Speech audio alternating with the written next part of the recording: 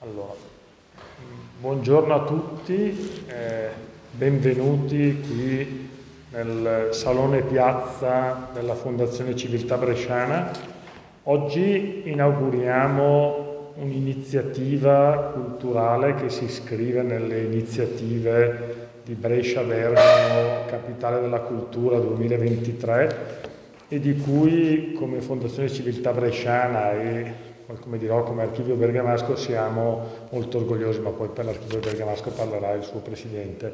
Siamo davvero molto orgogliosi perché è un'iniziativa unica in qualche modo nel suo genere, nel senso che oggi inizia un ciclo di ben 25 conferenze che si terranno con una cadenza quindicenale alternativamente a Brescia-Bergamo e il cui obiettivo è di approfondire, di studiare, di illustrare le molte connessioni culturali, istituzionali, economiche che ci sono state, le molte influenze che ci sono state fra Brescia e Bergamo e come le due realtà hanno saputo scambiarsi persone, esperienze, culture nel corso dei secoli. Due realtà che, come sappiamo, sono sempre state contemporaneamente in competizione e in collaborazione e credo che questo eh, lungo ciclo di conferenze che inizia adesso nell'ottobre del 2022 e finirà ben nel dicembre del 2023 eh, riusciranno a metterlo in evidenza. Un'altra delle originalità di questa iniziativa è che inizia con un concerto, con un concerto d'organo che si terrà poi nella chiesa di San Carlo in via Moretto e si chiuderà a Bergamo con un concerto jazz, quindi anche con una tematica, sì, poi magari ce lo spiega meglio il Presidente. A me è stato descritto così e quindi io lo riferisco in questi termini. Io, da Presidente della Fondazione Civiltà Bresciana, in questo saluto introduttivo eh, voglio limitarmi ai ringraziamenti che sono ringraziamenti davvero sentiti. La Fondazione Civiltà Bresciana vive grazie alla passione e all'impegno spontaneo e disinteressato di tanti amici, di tante persone che eh, legate a, a Don Antonio, ma in generale interessate a questi temi e a cui anche in questo caso dobbiamo uno speciale ringraziamento per l'impegno che hanno messo nell'organizzazione di questo ciclo a partire da Michele Busi che ha appunto eh, animato e intessuto i rapporti con l'archivio bergamasco a cui dobbiamo il merito di questa iniziativa dal nostro punto di vista a seguire con il comitato scientifico perché il nostro comitato scientifico diverse personalità del nostro comitato scientifico terranno relazioni specifiche su questo argomento a seguire con la nostra preziosissima organizzazione amministrativa. Noi eh, magari la parte meno visibile della Fondazione Civiltà Bresciana all'esterno, ma senza il lavoro oscuro ma prezioso e competente della... Eh, c'è qualche problema tecnico, no? della fondazione, del, dei nostri amministrativi che oltretutto garantiscono anche il collegamento, la proiezione in streaming di queste conferenze e poi il, eh, la conservazione di questo materiale per poter essere poi consultato anche successivamente. Ringrazio anche qua in modo non formale l'Archivio Bergamasco, che è un'istituzione credo abbastanza affine alla nostra come finalità e come esperienza e con la quale mi auguro che questo ciclo di conferenze possa rappresentare l'inizio di una collaborazione di lungo periodo visto che condividiamo obiettivi, finalità, motivazioni etiche e forse anche difficoltà che come tutte le istituzioni culturali incontriamo nella nostra attività. E poi abbiamo anche alcuni sponsor che credo sia doveroso ringraziare, i due comuni, il comune di Brescia e il comune di Bergamo che appunto ci hanno sostenuto e patrocinato, il, le due province, la provincia di Brescia e la provincia di Bergamo, lasciatemi cercare, eccolo qua, scusate l'elenco per non dimenticare nessuno, la fondazione IAR, istituzioni agrarie raggruppate, la Fondazione SM, la Fondazione UBI, Banca Popolare di Bergamo e la fondazione mia, eh, Fondazione Congregazione Misericordia Maggiore di Bergamo e poi infine la Fondazione Casa di Dio. Il concerto di stasera si terrà proprio in una chiesa di proprietà della Fondazione Casa di Dio. Oggi iniziamo con eh, un, eh, un, un incontro sugli antegnati che sappiamo sono stati dei costruttori bresciani che però hanno lavorato molto più di alcune decine di esempi di organi ci sono anche nella Bergamasca e ce ne parlerà il professor Giosuè Berbenni che poi prenderà la parola e al termine della conferenza ci sposteremo appunto nella chiesa di San Carlo per ascoltare Luigi Panzeri che eh, si esibirà in questo concerto d'organo. Per cui davvero grazie per questa vostra presenza, grazie a tutti coloro che hanno reso possibile questo ciclo di conferenze e lascerei la parola al Presidente dell'Archivio Bergamasco per i suoi saluti. Grazie, anch'io porgo un cordiale saluto a tutti gli intervenuti. E vi auguro una buona serata, speriamo che questo piccolo evento, il più grande evento del ciclo di conferenze, eh, sia un inizio buono, sia un buon inizio per, eh, per la nostra serie. Eh, accennava appunto a affinità e contrasti tra le due città. Ecco, io vorrei partire in questo brevissimo saluto perché la, non voglio togliere tempo all'amico Berbenni, proprio dalla, dall'immagine che abbiamo scelto eh, l'immagine del pieghevole. Eh, ve la mostro, no, non c'è, eh, volevo mostrarvela in tutta la completezza ma non l'ho messa. È la colonna Camozzi, la colonna Camozzi che mh, mm, è conservata nell'atrio della Biblioteca Civica di Bergamo, la Biblioteca Civica Angelo Mai ed è, eh, appunto si chiama L'omaggio, è l'omaggio della città di Brescia alla città di Bergamo in ricordo dell'eroismo della colonna Camozzi che nella notte tra il 31 marzo e il 1 aprile 1849 corse in, sec- in soccorso all'agonizzante Brescia che ormai stava per, um, per soccombere appunto sotto l'esercito austriaco. Eh, di quell'eroismo erano 800 i volontari e mm, furono poi fermati al confine con Brescia, la, periferia di Brescia, 35 morirono subito e 11 furono fucilati il giorno dopo. Eh, e quindi già in epoca risorgimentale comunque c'era questa alleanza, l'alleanza tra Bergamo e Brescia, ehm, che aveva superato la precedente tensioni del XII secolo. Chiaramente tutti ricorderete eh, la battaglia di Rudeliano, chiamata anche la battaglia della Malamorte, del 7 luglio del 1191, dove appunto bresciani e bergamaschi, eh, per ragioni di confine, di possesso dei confini, se le erano date eh, di santa ragione. Oggi noi non abbiamo nessun nemico comune, per fortuna, siamo fortunati, anzi la nostra collaborazione non è contro qualcuno, ma è per qualcuno, quindi eh, il nostro la nostra collaborazione, insomma ciò che abbiamo creato appunto in un anno di lavoro. Anch'io ringrazio eh, il professor Busi, ringrazio eh, dottor Bravi eh, qui presente, con cui appunto abbiamo creato un piccolo eh, comitato, chiaramente supportato rispettivi, dalle rispettive associazioni e insomma tra consigli dell'uno e dell'altro siamo riusciti a creare eh, così questa serie che intende valorizzare la conoscenza di questo ricco patrimonio che la storia ci ha consegnato, la storia di Brescia e la storia di Bergamo. E come diceva il Presidente... Sì, l'obiettivo è uno solo, far emergere le reciprocità, le reciprocità di idee, culture, sentimenti, che ha sempre, contra... anche linguistiche in fondo, che ha sempre contraddistinto nel corso del tempo queste due realtà appunto 24 conferenze, due concerti, uno all'inizio, uno alla fine, il primo classico, proprio perché l'idea era quella proprio eh, di partire dal vostro, dal vostro Antegnati, che mi dice Verbenni è il più bello del mondo, poi vabbè ci sono stati problemi e quindi non è stato possibile utilizzarlo. E poi concluderemo con un concerto jazz, un musicista bergamasco, di, un, di una certa notorietà anche a livello nazionale, Marco Gotti, che presenterà un'opera originale eh, sul viaggio, sui viaggi che lui ha fatto e li ha tradotti in, uh, in musica, in musica jazz. Eh, cosa devo dire ancora? Che altro? Il pomeriggio è lungo, piacevolmente lungo, mi auguro, e quindi non voglio assolutamente togliere spazio a, a Giosuè Berbeni e quindi di conseguenza rimandare tutto perché proprio alle sei e mezza ci trasferiremo a San Carlo e, eh, per goderci questo concerto del maestro Luigi Panzetti.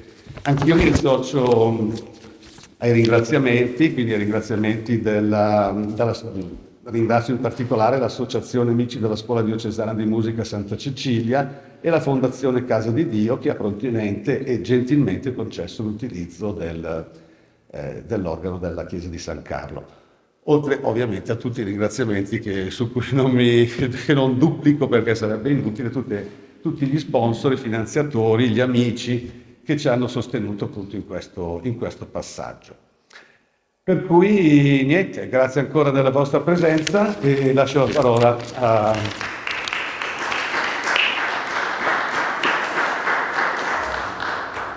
al professor Bertelli.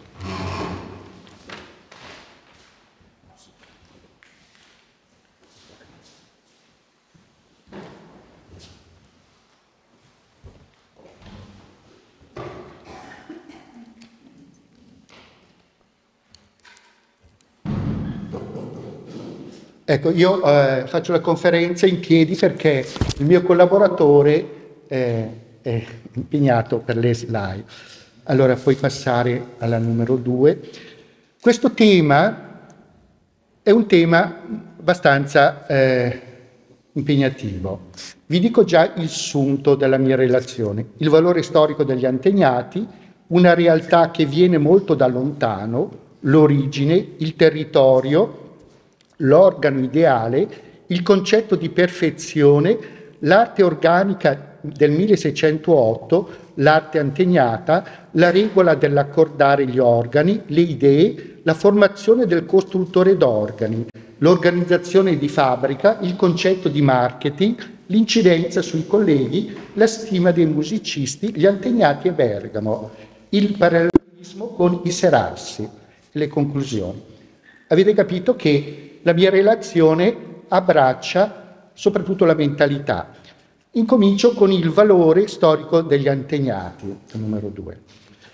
Non c'è come la musica che unisce le popolazioni nei lunghi tempi della storia. Nell'ambito Bergamo-Brescia, capitale della cultura, non c'è migliore argomento che ricordare ciò che ha unito le due città in una disciplina assai particolare.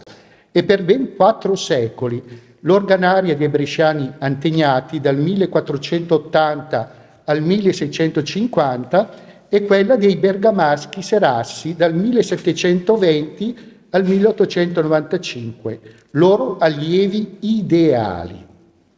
Se le due città sono famose nel mondo della cultura organaria nazionale e internazionale, è grazie all'eccellenza che le due dinastie hanno saputo creare ambedue attive per circa 170 anni, hanno il grandissimo merito di avere formato la tipologia guida dell'organo italiano, gli antegnati nel tipo rinascimentale e i serassi in quello sette-ottocentesco risorgimentale. Pertanto, alla tre, scusa, Pertanto il tema antegnati costruttori d'organi è di indubbio rilievo per la storia della società, della cultura e delle istituzioni che Civiltà Bresciana e Archivio Bergamasco hanno voluto dedicare. La nostra comunicazione è alla luce delle linee emerse dalla storiografia di questi ultimi decenni. Sono nate valutazioni, raffronti e ridimensionamenti utili da una parte a togliere la patina agiografica che li eh, che li contraddistingueva e dall'altra a mantenere la loro unicità e grandezza. Una realtà che viene da molto lontano. L'organo è frutto millenario di una complessa attività di meccanica, matematica, geometria, musica. L'invenzione risale al III secolo a.C. da un ingegnere idraulico, l'ellenistico Ctesibio d'Alessandria. Come vedete eh, questa, eh, dalla foto, dell'immagine è un disegno che dice esattamente come è nato. Da allora al 1400 sono trascorsi ben 19 secoli, dove tale strumento è stato protagonista delle vicende storiche non solo musicali, ma sociali, politiche, diplomatiche tra imperatori. nonché religiose in quanto fatto proprio dalla cristianità occidentale come strumento privilegiato della lode a Dio. L'origine. Tutto parte dal basso medioevo. Gli antegnati provengono da Antegnate, ora paese della Bassa Bergamasca, in passato nella giurisdizione di Milano e di Cremona. Nel 1431 Giovanni De Antegnate, giurista, tra i più influenti membri del Consiglio municipale di Brescia, aveva ottenuto la cittadinanza. Il figlio Bartolomeo è colui che per primo si dedica con successo all'attività di costruzione d'organi. L'apprendimento è quasi certamente nella bottega del tedesco Bernardino de Alemagna, veneziano di adozione che nel 1461 costruì l'organo di Santa Maria Assunta del Don. Nei documenti frequentemente è chiamato Bartolomeo de Lumezzanis, Lumezzane nella Valtrompia, dove da sempre esistono officine per lavorare il ferro e l'ottone. È assai probabile che Bartolomeo avesse qui un'officina per fabbricare le canne degli organi. Egli si forma con tre prospettive di mercato, in quanto a Brescia mancavano validi organari autoctoni. Quelli chiamati per importanti lavori erano forestieri per di più d'Oltralpe. Di merito perché l'organaria richiedeva indubbia abilità manuale di cui il nostro era dotato. Infine di committenza, in quanto c'era una grande diffusione dell'organo fortemente voluto da comunità civili e religiose con tutte le prerogative a loro proprie. Bartolomeo colloca organi nelle cattedrali di Milano, Como, Cremona, Mantova, Brescia, Bergamo. Nella città di Bergamo è attivo dal 1486 nella cattedrale alessandrina. Nel 1496-98 costruisce l'organo per la cappella civica basilica di Santa Maria Maggiore, ma l'opera gli viene protestata con l'obbligo della rimozione e della restituzione del denaro. Verso il 1501 muore, probabilmente di crepacuore, ad Albino, paese a una decina di chilometri dal capoluogo orobico. Il territorio.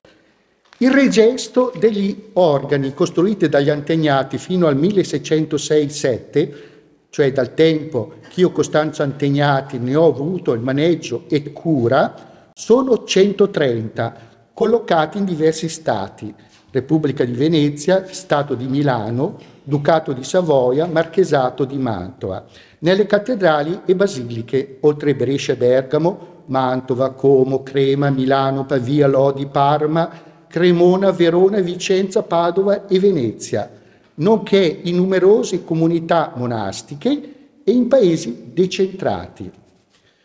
Tra i numerosi figli di Bartolomeo, solo tre continuarono l'attività, Giovanni Battista a Brescia, Giovanni Giacomo a Milano e Giovanni Francesco, costruttore di cembali e spinette, strumenti a corde dotati di tastiera. Benché nella dinastia si contino 19 figure dedite a questa occupazione, ne emergono solo tre. Grazie a Dio di Giovanni Battista con il figlio Costanzo e il citato Giovanni Giacomo di Milano. La differenza residenza consentì loro di essere presenti in zone diverse ed esteso dell'Italia settentrionale. L'origine ideale. La novità degli antegnati non è stata l'innovazione, ma l'ottimizzazione, cioè questi hanno realizzato il modello d'organo detto perfetto, grazie ad una chiara consapevolezza di idee di pensiero.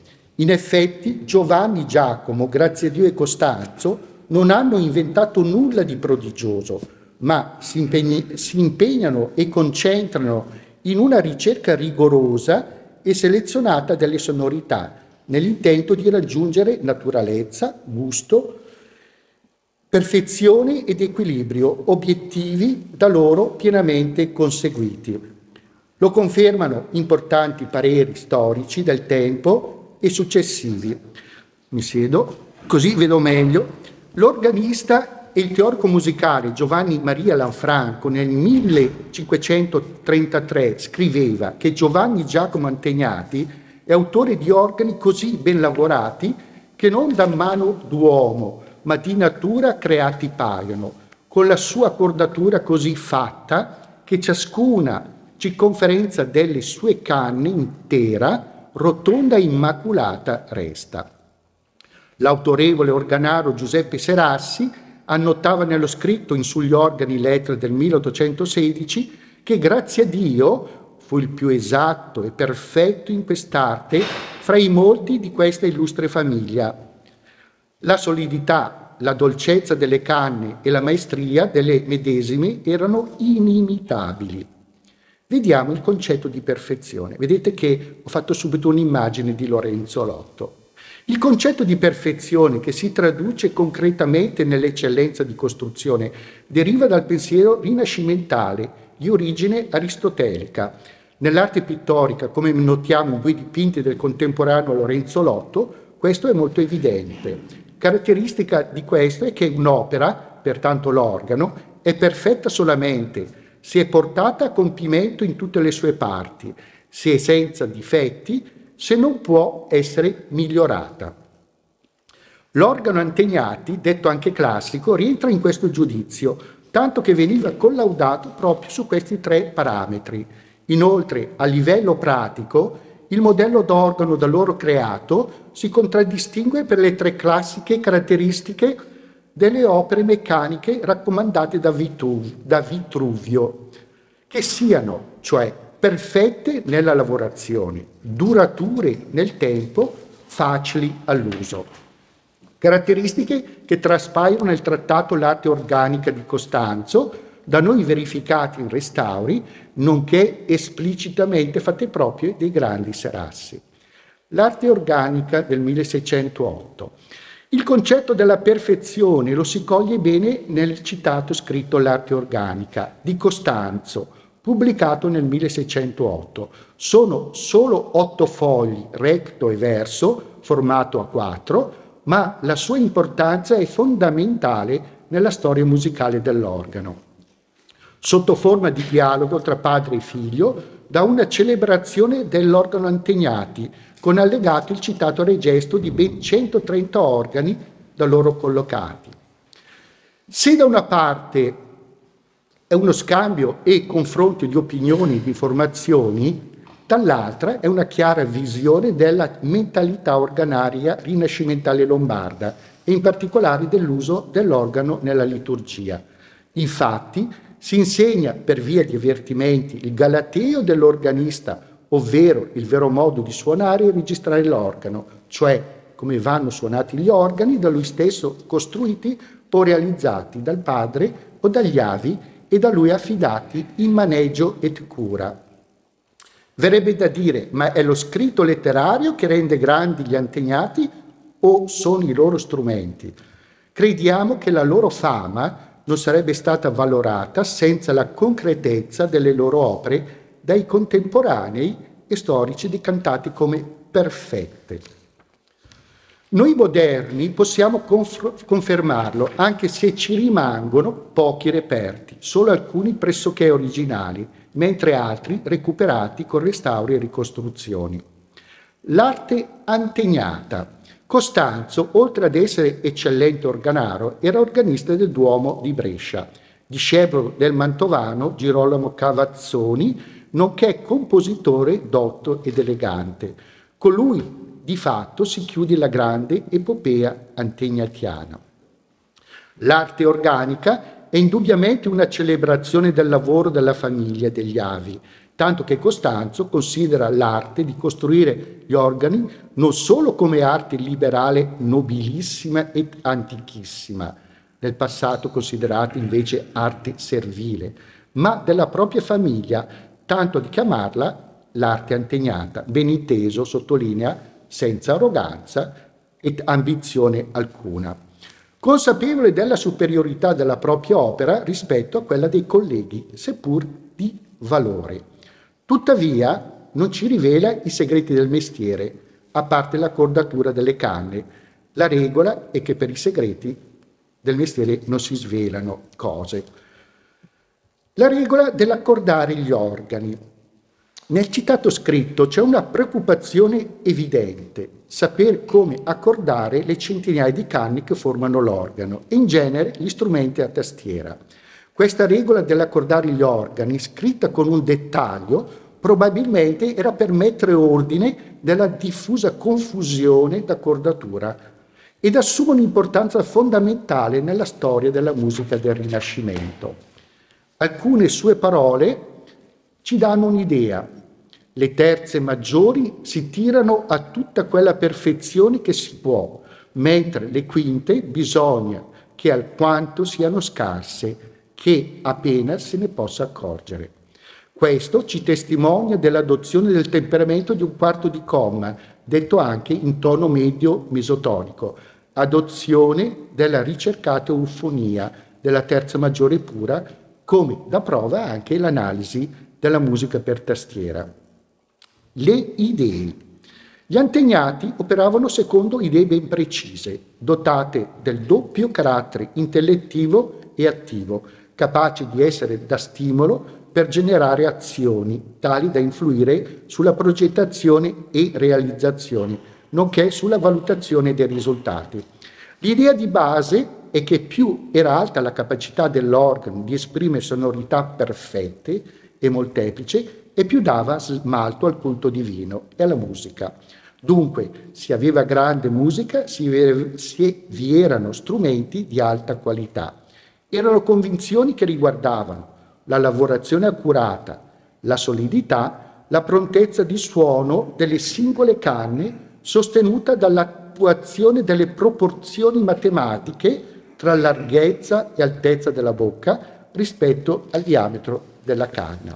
Inoltre la pressione costante e relativamente bassa dell'aria prodotta dai mantici che consentiva un suono naturale, pertanto nobile, la perfetta accordatura in tono medio, secondo la sensibilità dell'epoca, la varietà dei colori timbrici, l'equilibrio dell'insieme e la facilità all'utilizzo della tastiera e dei comandi dei registri. In tutto questo traspaiono le tre eh, caratteristiche vitruviane. Sul lato dell'esecuzione musicale e sul comportamento degli organisti all'organo viene raccomandato, come accennato, un vero e proprio galateo. Questo esprime una saggezza che rende tali raccomandazioni sempre valide, al di là del gusto dell'epoca. Tra queste si evidenziano come adeguare l'esecuzione delle forme gregoriane in 12 modi di varietà di combinazioni dei registri, ovvero colori timbrici impiegati. Come ottenere la purezza del suono del ripieno, formato dei soli registri della fa- famiglia di ripieno sulla base di un unico principale, anche se l'organo ne possedesse più di uno, lasciando gli altri registri serati, perché il ripieno riesce più vivace e spiritoso e più gentile armonia si sente. Infine, come mantenere lo strumento di così alta qualità, raccomandando di fuggire dai cosiddetti organari spacca organi, la formazione del costruttore d'organi. Lo scritto sottintende un ulteriore aspetto totalmente nuovo nella cultura organaria, il costruttore d'organi. Nel Medioevo tale professione era ritenuta più meccanica che liberale, praticata a volte da gente molto bassa e quasi mendica. Costanzo ne ribalta la figura e sull'esempio dei propri avi di sé propone chiaramente che il costruttore d'organi non deve stare a livello di semplice facitore di, al- di arte servile, come è la meccanica, ma deve salire e considerare l'arte organaria come arte nobile, in quanto comprende l'aritmetica, la geometria, la musica, che con l'astronomia formano il quadrivio formativo dell'arte in sé. È una visione antropocentrica tipica dell'umanesimo, secondo cui occorre che l'uomo sia artefice della propria vita, che dia il senso della dimensione storica, in, in particolare del ruolo classico, che rinnovi il gusto estetico, che sia cosciente del possesso di tutte le facoltà poste dalla natura che esalti l'armonia e la bellezza, che abbia lo spirito critico. È l'uomo ideale per costruire un'opera perfetta. A tal fine raccomanda la formazione spirituale, morale e civile del costruttore d'organi perché tutta l'opera è per lodare e glorificare il Dio. Infine Costanzo ricorda dalla propria esperienza che l'arte di eseguire e comporre musica è necessaria molto alla professione mia di fabbricare e suonare gli organi, volendo ciò fare come si deve. L'organizzazione di fabbrica. L'arte di costruire gli organi presuppone molte discipline, oltre che la meccanica, la fonderia, la falegnameria, la matematica, la geometria, la musica. Inizialmente tale attività di costruzione d'organi e secondo modalità medievali ci, riferi- ci riferiscono che Bartolomeo e il figlio Gian Giacomo così procedevano. L'organaro si recava sul luogo della committenza e questa forniva tutti i materiali necessari. Grazie. All'opera metalli, legni, pelli, colla, chiodi e altro. Dalla metà del Cinquecento l'attività Antegnati è così intensa che le loro officine sono strutturate secondo settori specializzati. L'organaro e i suoi operai dovevano creare i lavori nella più stretta collaborazione e con la costante coscienza dell'opera complessiva. Il concetto di marketing accanto a questa nuova concezione della fabbricazione in comparti specializzati, c'è l'esigenza di comunicare il pensiero all'operato, non solo per far conoscere e acculturare, ma per acquisire altre committenze. L'intento di Costanzo è di fare un'intelligente operazione di moderno marketing con obiettivi competitivi e obiettivi relazionali allo scopo di creare un vantaggio concorrenziale sia di organo che di idee esecutiva musicale per fornire ai committenti, parrocchie, organisti, comunità e municipalità un valore d'organo sempre migliore rispetto a quello dei colleghi concorrenti. Non si può parlare di concorrenza di costi perché l'opera d'arte non ha competizione. L'incidenza sui colleghi. Altri organari coevi agli impegnati erano più fantasiosi e innovativi, stilisticamente divergenti dal rigorismo purista antegnatiano. Sappiamo che non correva buon sangue tra gli organari, pronti come sempre a farsi le scarpe gli uni con gli altri. Accanto agli antegnati vediamo una serie di validi organari bresciani, Giovanni Battista Facchetti, molto attivo a Bergamo, Bernardino Virchi, Giulio Cesare Moroni, Tommaso Megliarini, Giovanni Battista e Stefano Angelini e benché non tutti siano usciti dalla bottega Antegnati, sono propositivi di un modello d'organo non dissimile da quello Antegnati, sia per estetica sonora che per tecnica costruttiva. La stima.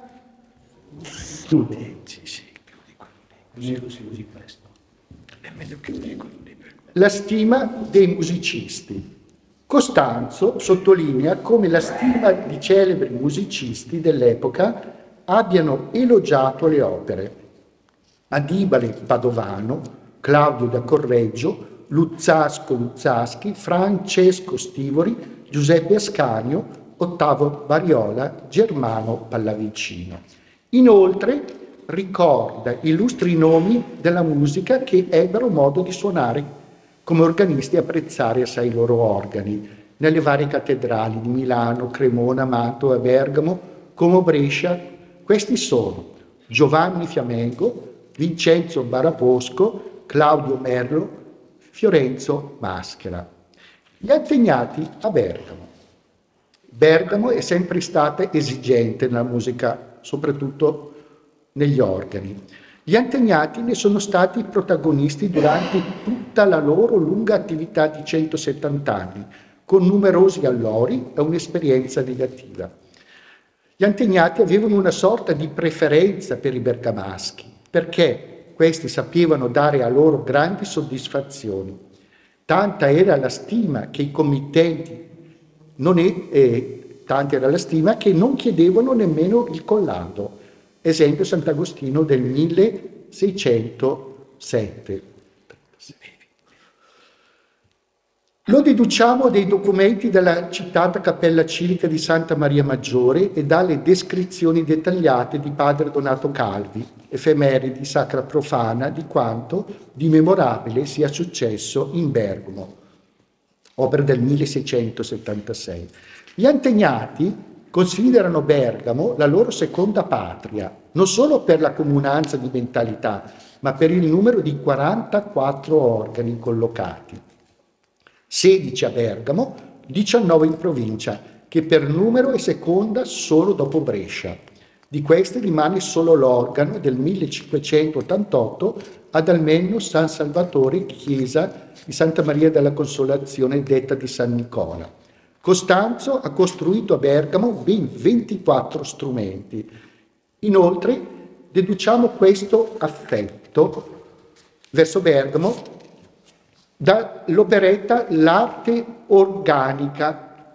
Nell'immagine vedete che c'è proprio Bergamo, dove Costanzo ricorda le suore del monastero di Santa Grata in Bergamo Alta e Giovanni Cavaccio, maestro del Duomo di Bergamo, per i quali sono riportate le regole per l'utilizzo degli organi.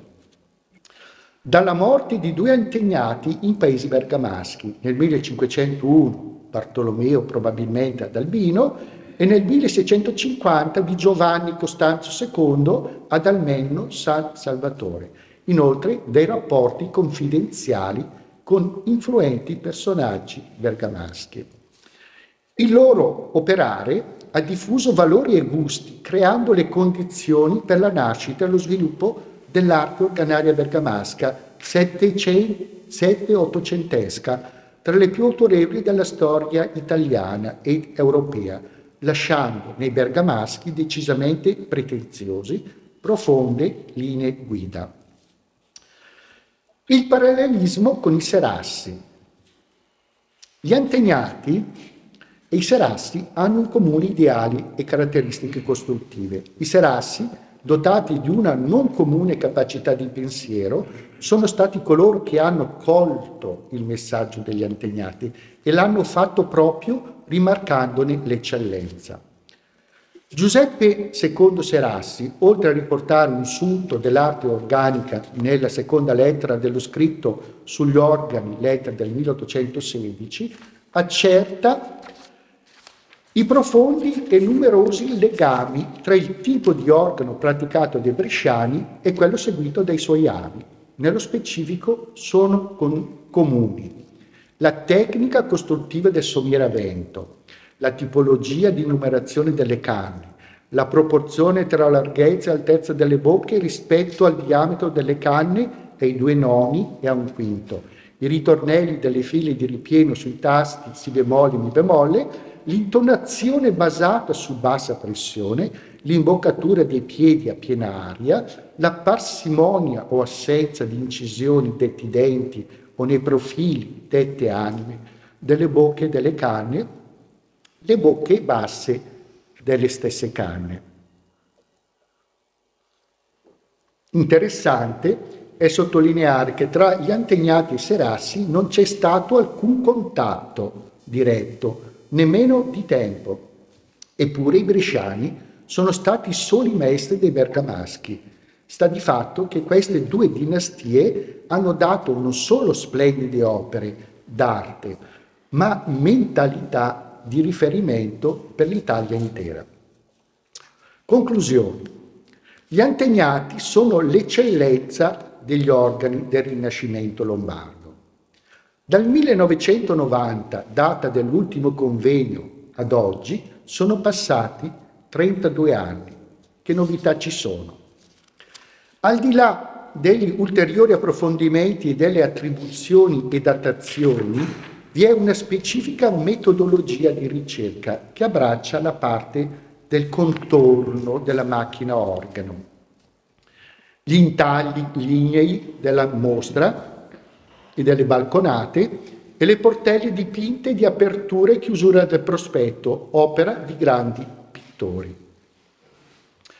Sono nate indagini specifiche sulle famiglie di intagliatori, tra cui i celebri bresciani Piantavigna e illustri pittori quali il Moretto e il Romanino d'origine bergamasca.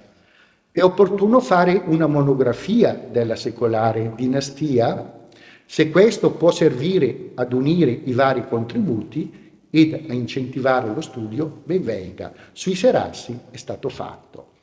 Vorrei concludere con l'immagine della città ideale, che prima avete visto, del Rinascimento, collegandola all'idea dell'organo ideale, ovvero perfetto, che i grandi antegnati hanno saputo realizzare e proporre. Grazie.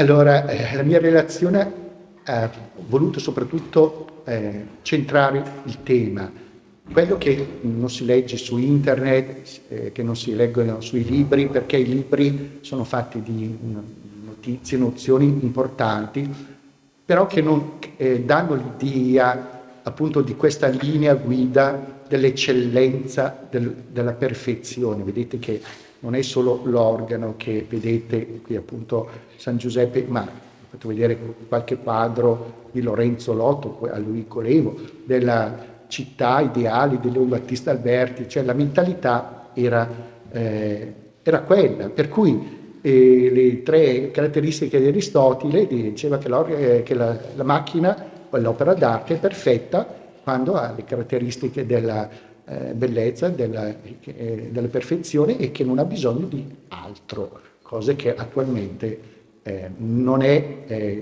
più comprensibile. Ma eh, gli antegnati, anche se da allora, adesso sono passati 4-5 secoli, che cosa ci possono insegnare? Io direi la qualità dell'opera eh, umana.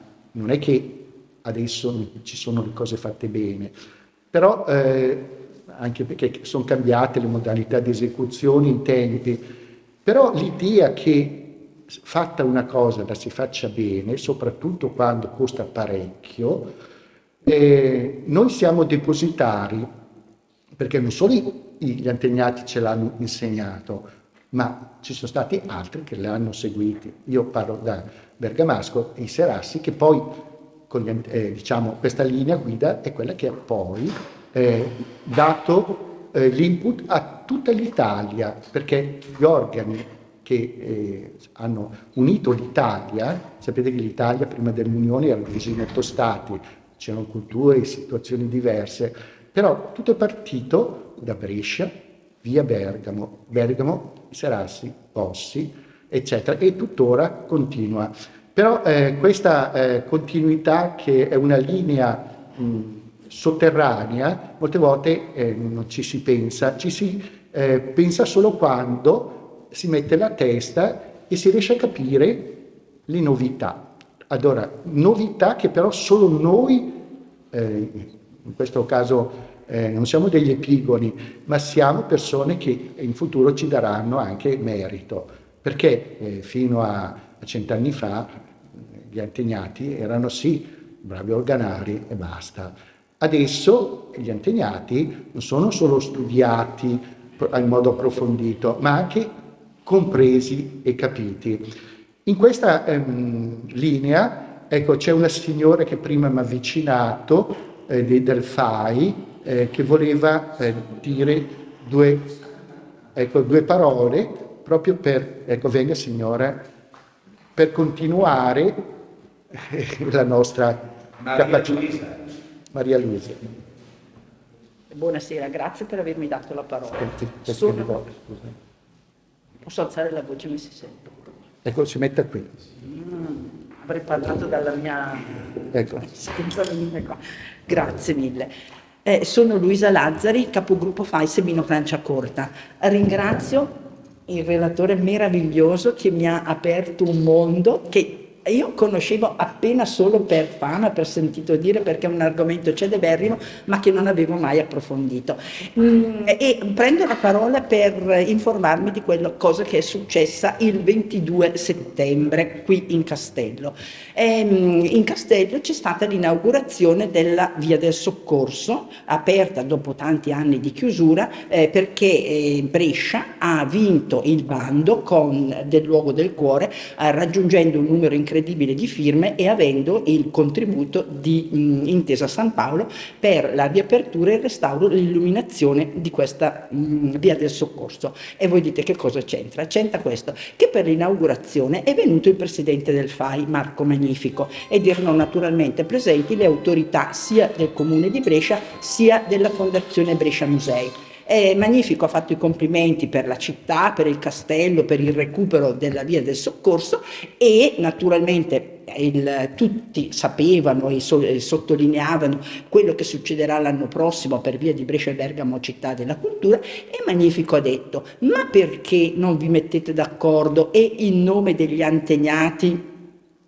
fate qualcosa, un festival, una serie di concerti che uniscano Brescia e Bergamo passando attraverso i territori della provincia, eh, che sarebbe una bellissima cosa che unisce le due città e che valorizza queste opere meravigliose aperte al tutto il pubblico con eh, la collaborazione di quelli che si vuole. Io ve lo propongo perché l'ho trovata un'idea bellissima, soprattutto perché veniva da questo che è un milanese che ci sollecitava a valorizzare le nostre eccellenze. Mi piacerebbe che dopo questa bellissima conferenza ci si mettesse eh, qualcuno a organizzare un festival eh, tra Brescia, Bergamo e provincia. Io sono a disposizione per quanto riguarda le chiese nella zona di mh, mm, Franciacorta e Sebino.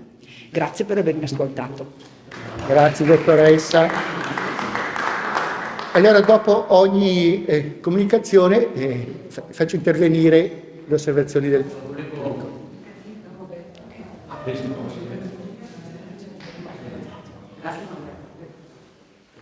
Scusate, mi permetto di intervenire solo per ringraziare il professor Verbenni da parte dell'Associazione Amici della Scuola Diocesana che ci ha invitato. Prendo spunto dall'intervento della signora Del Fai proprio per dirle che su questo tema, anche se l'abbiamo tenuto per un po' segreto perché non si poteva dire prima, eh, la, eh, l'associazione Vecchia Bergamo che eh, sempre organizza il Festival internazionale a Bergamo, l'associazione Amici del Cardine e l'associazione Amici della Scuola Diocesana hanno proprio ideato per l'anno prossimo quello che è stato detto. E quindi eh, è appena stato promosso questo progetto che è un progetto che tenderà a due diverse finalità, una finalità cittadina ed una finalità provinciale.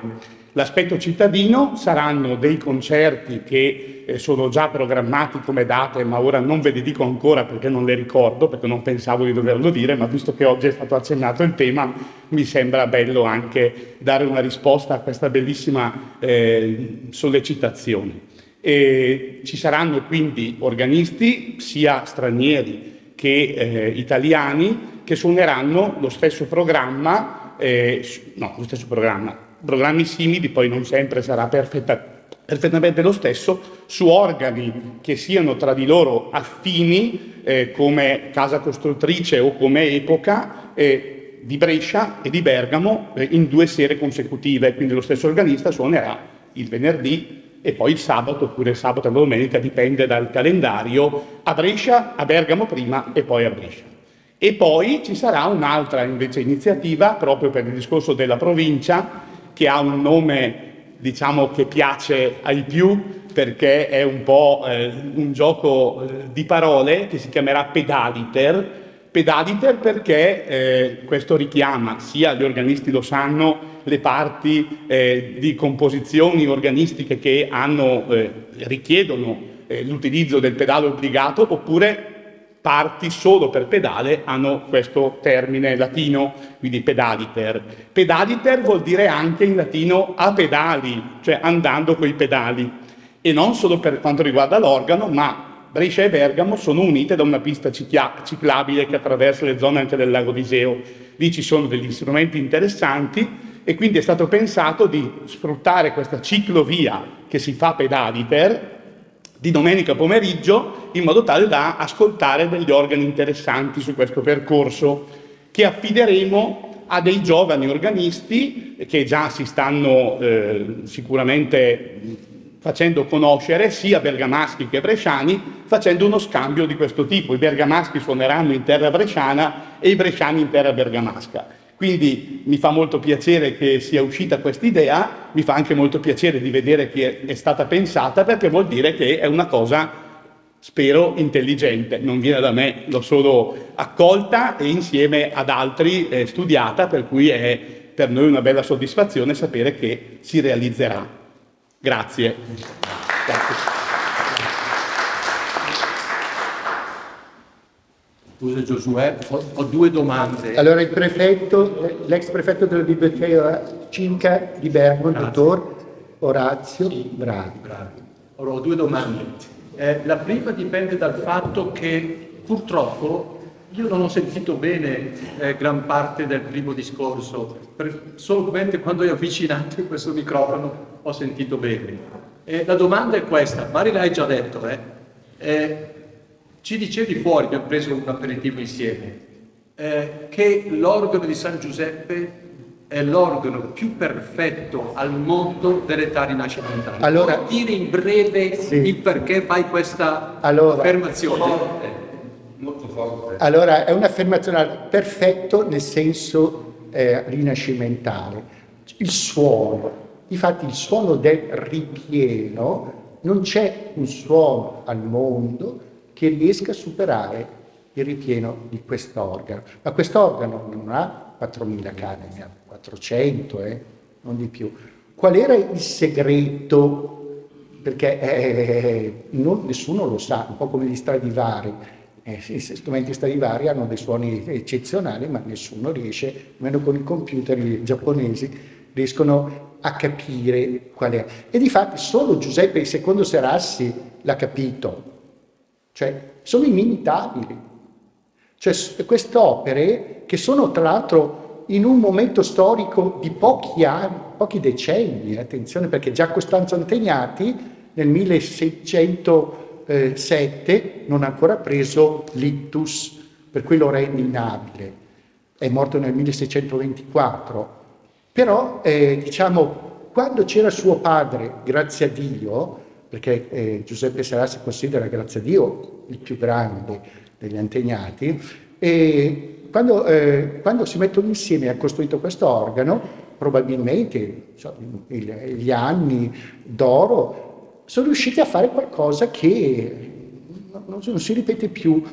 Tra l'altro vedete dall'immagine già questo prospetto, è un prospetto che richiama la città, la città ideale di Leon Battista Alberti, oppure può richiamare le pale d'altare eh, meravigliose di Lorenzo Lotto, voi potreste dirne altre. Poi avete visto le portelle, cioè diciamo il gusto che noi adesso stiamo riscoprendo. E questo gusto eh, era proprio eh, in cose molto semplici che noi non capiamo più perché se noi non abbiamo gli organi di 3000 canne dove alla fine uno dice boh eh, magari mangiano anche negli Stati Uniti i popcorn e bevono Coca-Cola, mentre...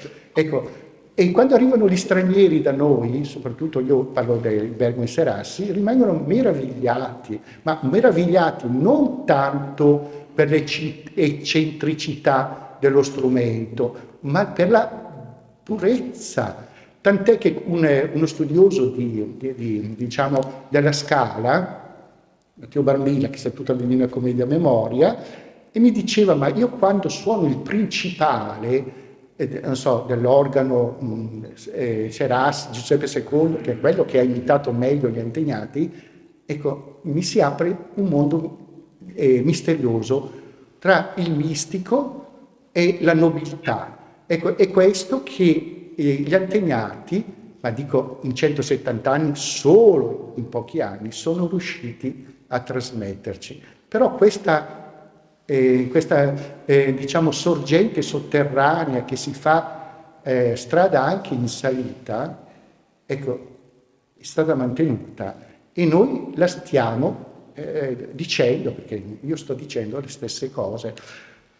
Allora, l'organo eh, di San Giuseppe che è decantato, che ha il, il, il suono di pieno più bello del mondo, e di fatto l'ho sentito eh, eh, nel YouTube e, di, ho detto ma questo è un, un suono eccezionale e deve essere restaurato. Il fatto che non, eh, stasera non possa essere sentito, abbiamo dovuto eh, così fare le capriole per far sentire il concerto, ecco, è un invito, ovviamente a restaurarlo, perché è dal 1958 che lo strumento eh, è stato restaurato, ma soprattutto eh, qui c'è l'organaro Chiminelli, 10 lode di violoncello titolare alla Scala e si è messo a fare l'organaro. Ecco, è chiaro che il nostro, eh, eh il nostro mandato è quello innanzitutto di eh, non solo, io non dico di migliorare, perché non esiste migliorare l'opera d'altri, ma soprattutto di mantenere e valorizzare, perché i danni più grandi che si fanno agli organi sono fatti dagli esseri umani,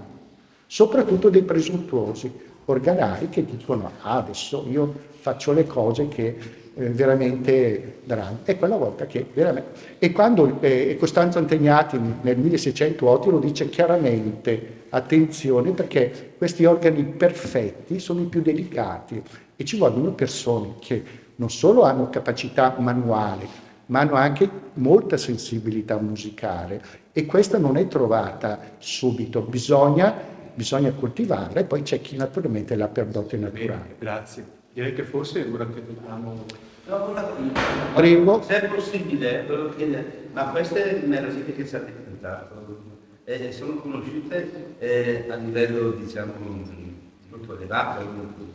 Allora, eh, lei ha fatto una domanda dopo. Raccontiamo noi, eh, io ne ho di, crescere, ma è riconosciuto a livello mondiale o europeo? Eh, allora, nella, allora, i giapponesi eh, finanzierebbero l'organo eh, così San Giuseppe, perché diventa, c'è qualcuno che l'ha offerto, ha detto io mi offro a restaurare gratuitamente, quanto ci vuole per un organo così restaurato? Ci vuole un minimo 200, 250 mila euro, ma il problema è che eh, la comunicazione di internet eh, eh, diciamo accelera questa conoscenza ma purtroppo eh, molte volte questa conoscenza diventa troppo fluida. Ecco, e però eh, direi che già il fatto che se ne parli...